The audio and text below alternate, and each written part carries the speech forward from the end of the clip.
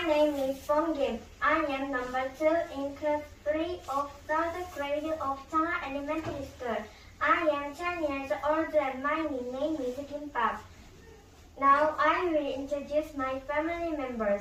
My mom is 43 years old and her name is Naragang.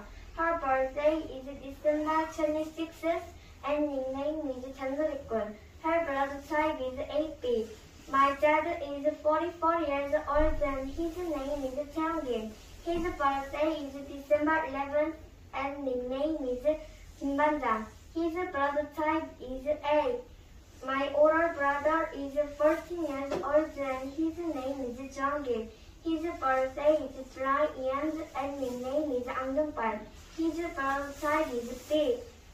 My family often go camping on weekends.